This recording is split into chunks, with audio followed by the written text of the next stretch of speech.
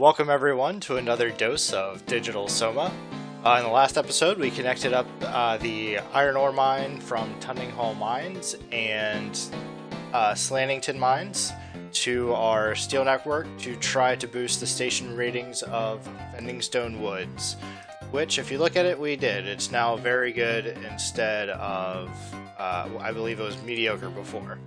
Uh, so we can consider that a, a success. Um, we also added a good station from uh, Ginberg Heights sawmill to Ginberg because uh, we transferred some. We were transferring wood from uh, Rayborn Crosswoods to Fendingstone Woods. Um, just to give um, the trains from Tunningstone Mine something to carry on their return trip. Because an empty train just costs you money. Alright, and uh, rewatching the previous episode, I realized that I made a couple of mistakes. Uh, I had to redo this track over here, and I never finished uh, signaling the track, so we're going to go ahead and take care of that now. Uh, I believe that's a one-way signal. I don't want a one-way signal. Uh, no, that's regular, okay. That fence was confusing me a little bit. Uh, so now, we actually don't need these signals anymore since it's a, it's a one-way ro-ro. Um, you only need signals on the exit, not the entrance. So we're good there. And I realized that we that I never attached the the farm to the factory here. So we're gonna go ahead and do that real quick, and hopefully that'll allow us uh, to put more goods vans on this line, um, which should increase the frequency of their pickups and increase the station reading of Fondingworth West, because uh, we've been having an issue with that too. That's been low. just connect up the uh, path there. How far away can I get with the station? Ooh, not very far, so we'll have to terraform a little bit. Just eagle that out. Put the station here. Yep. Okay, so that's good.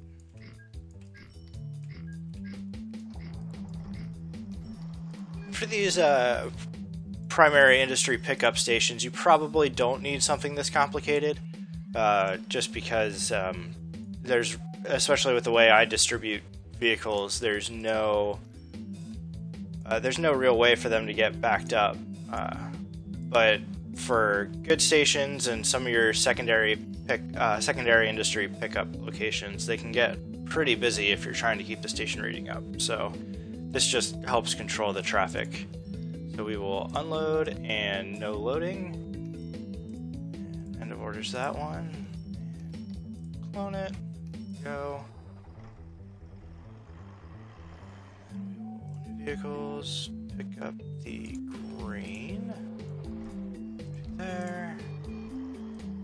Uh, visit the road depot after full load. Normally you don't want to do that um, just because the uh, the cargo payment rate is based on the speed that the from the time your vehicle starts picking up the cargo to the time it's delivered. Um, but uh, I guess we can't we can rearrange that just because I don't have breakdowns on. But if you have breakdowns on, loading will uh, take up a lot of uh, will eat up a lot of the vehicle's reliability. So if you have breakdowns on, um, you're going to want to have your vehicles visit a depot if you have them set to full load. Uh, just because waiting really, uh, really, really makes their reliability drop pretty quickly. And if you have breakdowns on, it'll just clog up your train lines and everything. So you want to be sure you're you want to be sure you have regular depot stops and keeping the reliability of your vehicles up if you have breakdowns enabled. Um, where is that route going? And again, if uh, if they're if a vehicle's service uh, service interval comes up, they'll just go to the nearest road depot, uh, regardless if it's on their uh, whether regardless whether it's on their normal route or not. So they can end up going some pretty crazy places. So be sure you have uh, depots near where you want them. And I don't think we need this livestock van. May need another green one now. Just fast forward while we get this road vehicle line figured out. Uh, we'll add one for good measure. I don't think we need it, but that'll work. Alright, so there's that. You can see we have a little bit of goods waiting at the station, so I'll just copy two more and see how that goes. Hopefully we can get that frequency up to keep our uh, keep up our station reading in good order. Okay, those were the two thing two mistakes that I noticed that I needed to fix. Um, ooh, still more goods waiting, so we can add, probably add a couple more vehicles. And the more road vehicles you have servicing that station, the higher the rating, so it'll be good. Let's see what we can do to expand our network a little bit. We aren't carrying oil, but that's such a short line that won't earn us a lot of money. So I will take a look around here. We could always add more farms to the uh, to this factory factory station. Uh, that would also increase our factory rating if we picked up goods on the return trip. So yeah, let's do that. I'll just go ahead and add a station here. Uh, is there another? There's that farm that's pretty close. Oh, two farms pretty close.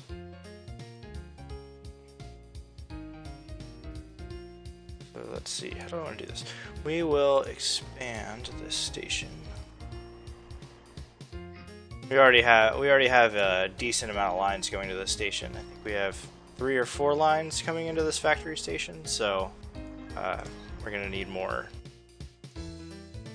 we're to need more station platforms pretty soon or else it's to get overloaded. Actually need to equal this out a little bit, back up some of that. Um, two, that's three, that's four, we'll remove that. Just do that. And actually we'll go ahead and put a little bit of a bypass in there. Just, uh, just for trains, just as an eventuality if trains aren't coming to the station. Um, and this is combination terminus ro-ro, so that this side's going to be a little annoying. Going to be tight turn, but um, can it just go straight there? No, it has to be straight.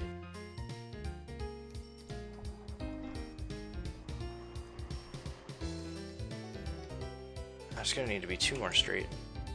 It's gonna be a really tight turn on the exit here.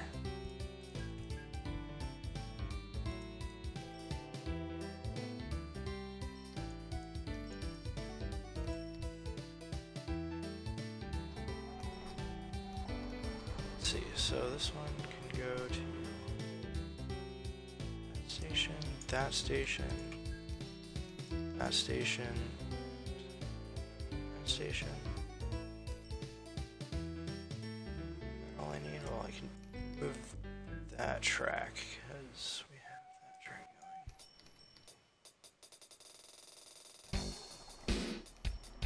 going. Enter, go.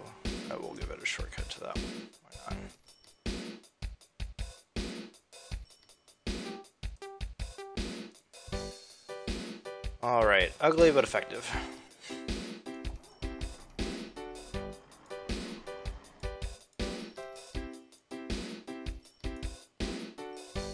And we're going to...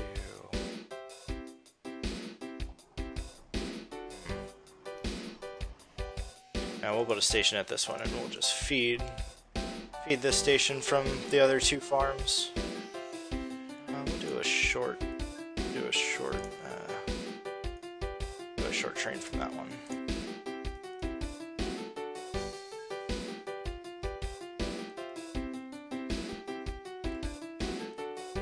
Do that.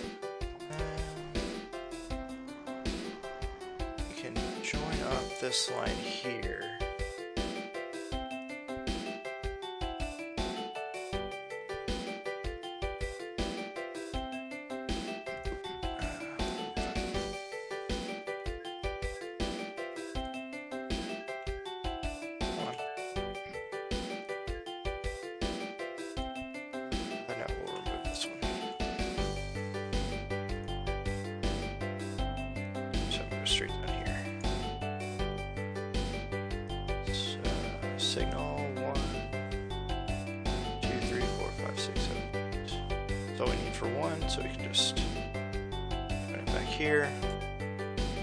Whenever you have a merging junction, you want to be sure that there's enough space in the junction to where a train waiting to merge with the merge with the other line isn't blocking this line. So if a train is blocking this if a train is leaving Fendingstone Woods going to the going along this track to the factory station, uh, and we have our farm train coming up here, we we want to we want to have the oil uh, the oh we are transporting wrong.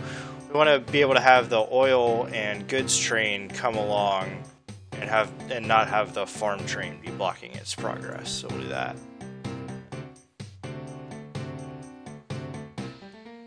Uh, I only want one train in this section.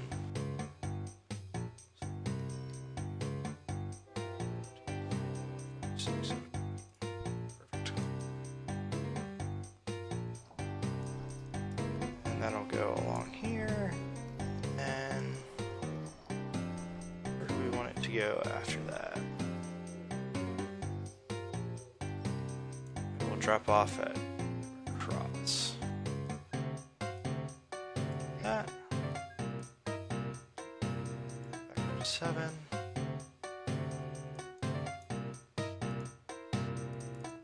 And Rayborn does not like me. So then click on the town name, go to local authority. You can see I'm very poor, and you need to be at least poor to build a station.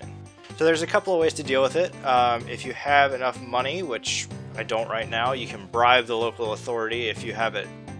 If you have the option in the game settings, limitations. Maybe not. Uh, you could using this filter string is uh, really handy. Um, just bribe environment authorities allow bribing the local authorities. So we do have that turned on, um, but we just don't have enough money to do it. So the other option is trees.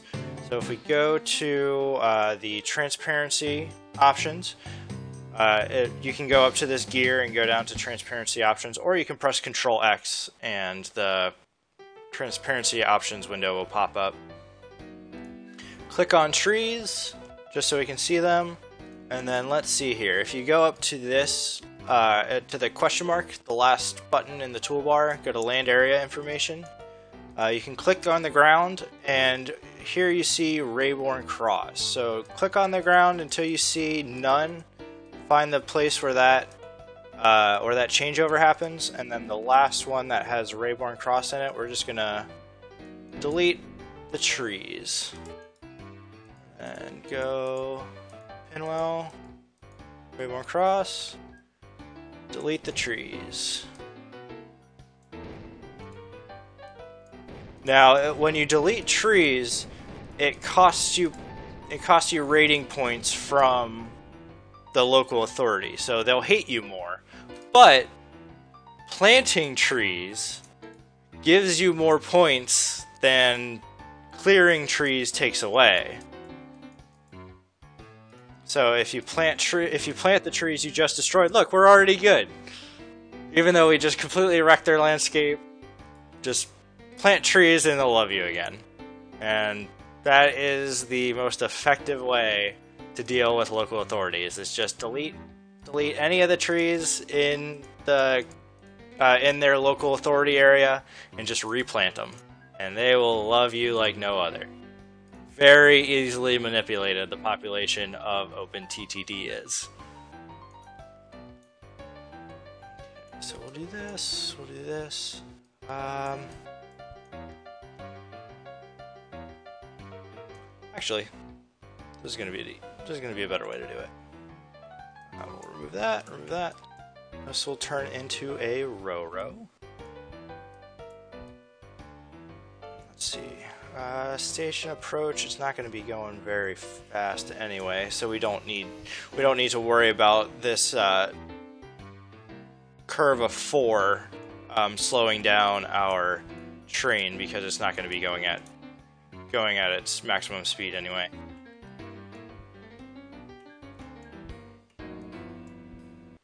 Turn this into a row.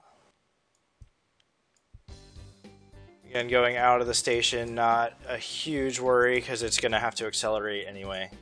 Um, just go like that, connect those two.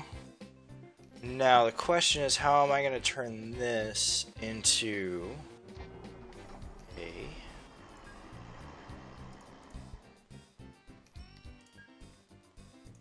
uh, give this give these trains an option to return this way.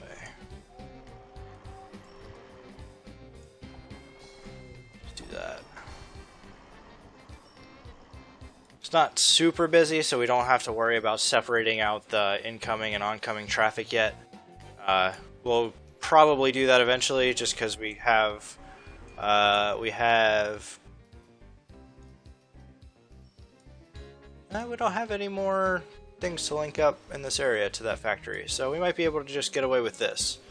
Um, but if you start bringing in more than what we're doing, you're going to want to start separating out traffic, which I will show you how to do in a later episode. There's actually some really cool station designs that you can do.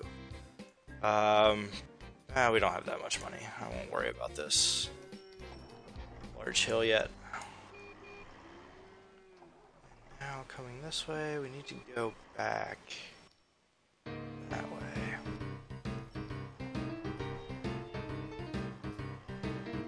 This is going to be a little annoying to get over there. But, uh,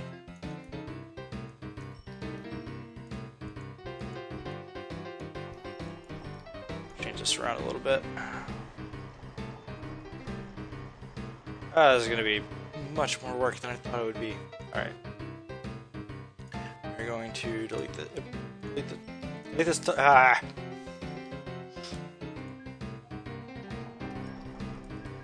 Alright. Ah! Where's the road vehicle in the tunnel? Alright, wait for it to get out of there. Alright. Delete that tunnel.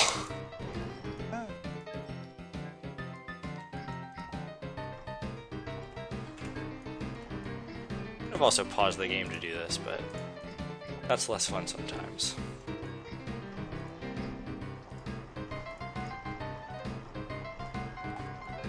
so we have to go the other way, which means we have to remove our track. And press T. If you have the uh, railway or the road vehicle up, pressing T will bring up the tunnel. There we go.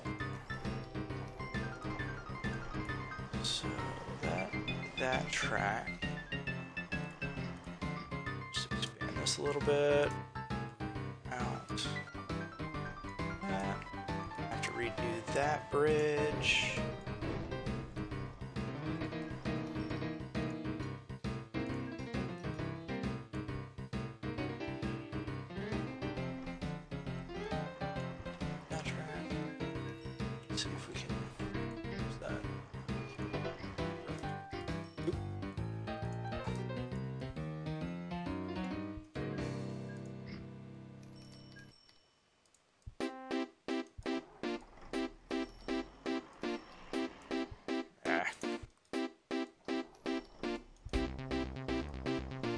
To remove track when you have the uh, so pressing A will bring up the uh, the railway construction auto tool, which is the omnidirectional direction aware tool.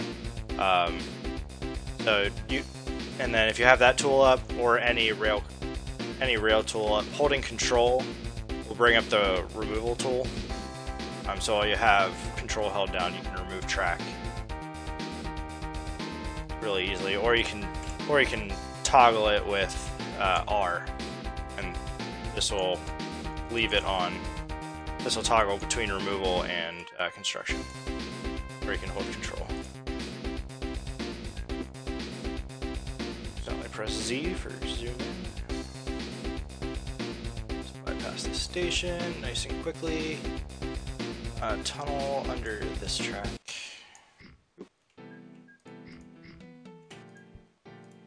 Now, I prefer to use tunnels, um,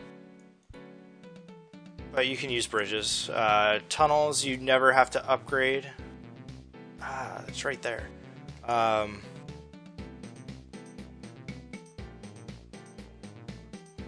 tunnels, you never have to upgrade, and the trains are going down a slope before going up a slope. So they'll gain more. they'll gain a little bit more momentum going downhill and then going uphill versus uh, versus just going uphill and then going downhill after. So let's see, we'll do that.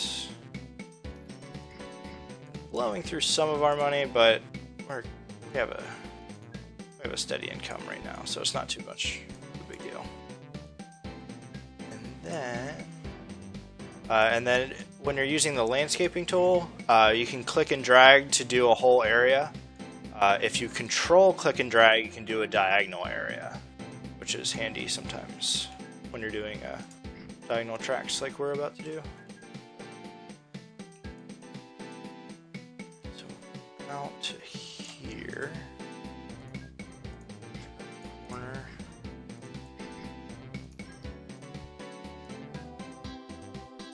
Just have a sunken rail track like that. Doing it all the way to the station would be a little bit overkill, so we'll just do that. And the only thing left to do is merge this line with that line. And we're good to go. Okay, so we need a depot.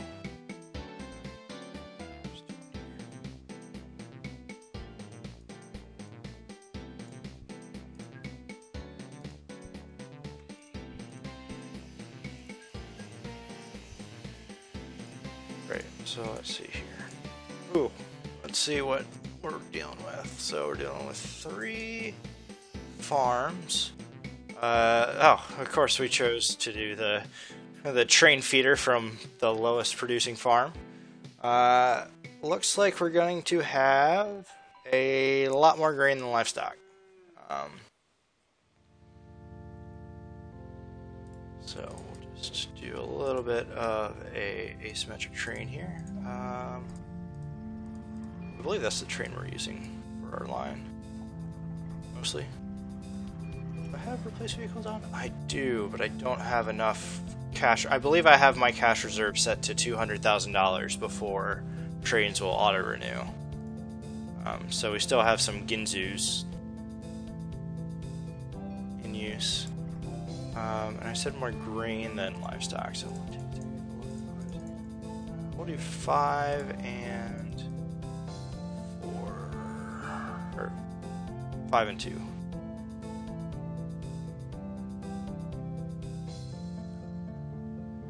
Uh, we could probably I was talking in um, in square units, not the amount of wagons. So with the base assets, um, every wagon and every engine is a half is a half square. Um, so if you have a seven square station, um, you have room for 14 cars. Um, and then you can divide it up however you want. Um, so we'll do that.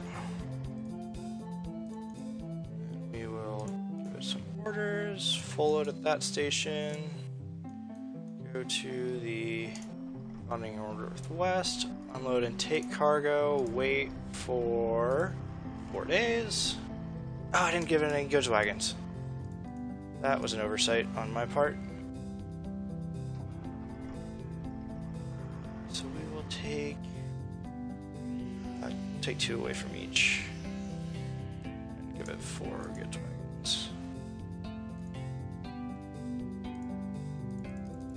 There we go.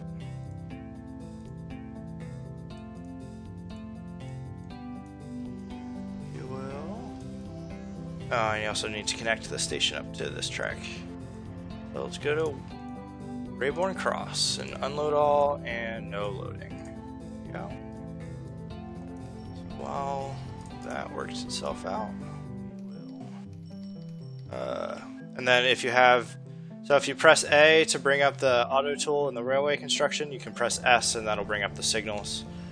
And unfortunately, holding control with the signals is how you uh, is how you add signals to the track. And oh, I have these on eight distance, so I want to be sure we keep that.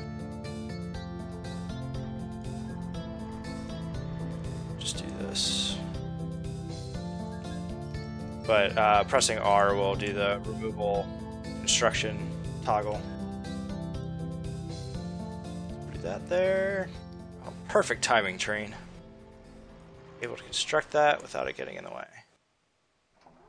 Unfortunately, it's just exiting trains are just going to be blocking incoming trains. It's just how the that's just how the setup's going to work. One, two,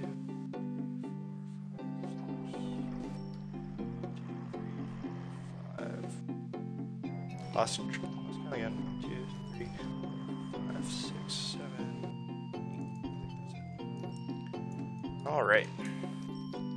That takes us all the way to that station. We'll just have it wait there. Need signals on the exit. One, two, three, four, five, six, seven, eight. Perfect.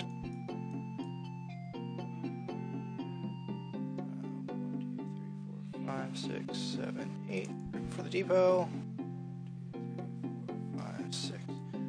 Now you can leave the track between the depot and the station uh, free of signals, and then all the trains will just wait in the depot. Uh, so if you have a really backed up line, uh, that's kind of a trick because depots don't have a train capacity, so you can have like 20 trains in that depot rather than having them gridlocked and all the way back to even blocking Rayborn Cross. Uh, just having a depot without any signals uh, after it, we'll just have we'll just force the trains to wait in the depot, but it's not going to be that busy of a line, so we'll just leave that there. And then we'll add We'll add the road vehicle feeder. Just the wrong button there. That one will be for either grain or livestock. This one will be for whichever one we did on the first one.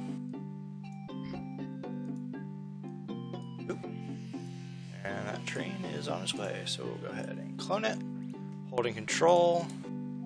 So you get the uh, have them share orders signals on the exit and need a signal there. Uh, four, five, six, seven, eight. All right.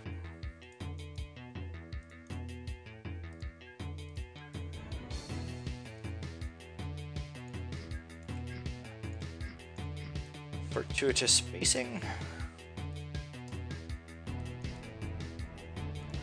there, there. Oop. That. We need to hold control so we can join it to the Rayborn Cross south. Yeah.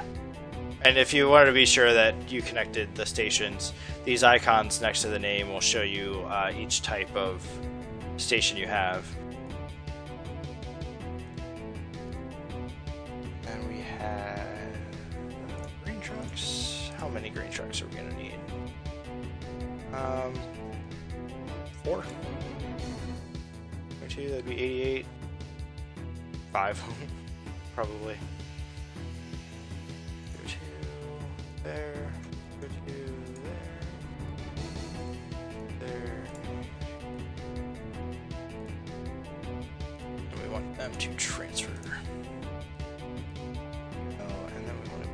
stock and do the same thing. Hold control to tell it to full load.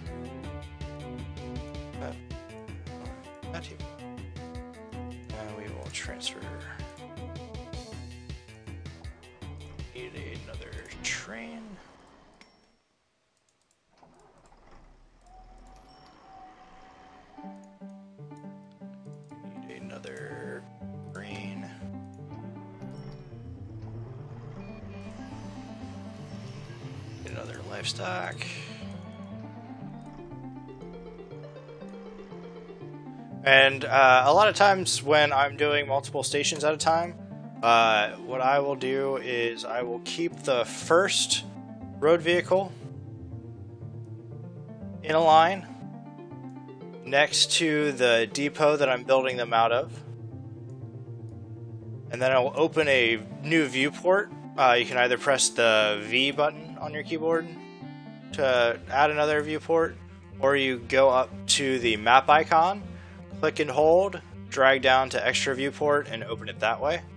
And then uh, you navigate the viewport just like you navigate the map. So right clicking and dragging with your mouse will move the viewport, um, and then scroll uh, using your uh, scrolling the mouse wheel will zoom in and out. And then I will have the viewport open to one station, and I will put it next to the vehicles that I'm watching there. And then close that. Uh, that is not the first train we sent out. I can close all these other windows. And uh, if we have if we have more than two stations, I'll just I'll just keep opening viewports until I can watch all the stations that I'm that I'm doing vehicles on. Um, then we can watch the trains at the same time we're watching the road vehicles. And did I already send out another livestock van? I did, but we do need another uh, another grain road vehicle. And you can and again you can click on all the vehicles that you see in this viewport, um, get their information, clone them, and everything. Oh, do we need another livestock van already? We do. And really, the only road vehicle we need to know about is the first one. Because um, once the first one makes its complete line, then you don't need to add anymore. Oop, might have to add two livestock vans. They're getting pretty uh, close to depot accident. 65, so we'll do that. Train's leaving, but the... Oh, I'm already upgrading to diesel? I am already updating to diesel. Should have seen that. Just wasted a little bit of money, but that's okay. Add another two livestock vans because they seem to be moving pretty quick. And so that we see the verse vehicle has completed its track, so we don't need any more green vans, but we might need more livestock. It looks like there's a little bit of a backup, but maybe not. We'll add one more just in case, but probably. And with that, we will end this episode. Uh, the feeder, the train feeder station from this farm, we'll have to wait till next time. Uh, seeing how low its production is, we might not even do it, um, just because I don't think it'll be worth it. But let's see if those new farm trains boosted this rating a little bit. Uh, it has a little bit. Uh, we'll have to keep adding trains to that line just so, just so the Fawning Northwest station keeps uh, keeps a very at least very good. I like to keep my station ratings at least very good. Um, so we will actually just remove this station. And again, when building stations, uh, if you press the R, you can remove stations rather than um, deleting the whole thing. Because if I were to have uh, used the dynamite tool on this station, it would have destroyed the Westbourne cross. It would have deleted this train station as well. So you want to be really careful about using the dynamite tool on stations. Um, because it can actually it'll actually delete all connected stations of that type i believe uh, at least train stations yeah so if you're removing train stations, you want you don't really want to use the dynamite tool. You want to click on the station tool and press R to bring up the station removal tool. Uh, yep, so deleted that because we're not going to connect that farm. I don't think it's going to be worth it. Create another line, and yeah, that's it for this episode. Thanks for tuning in. See you next time. Bye bye.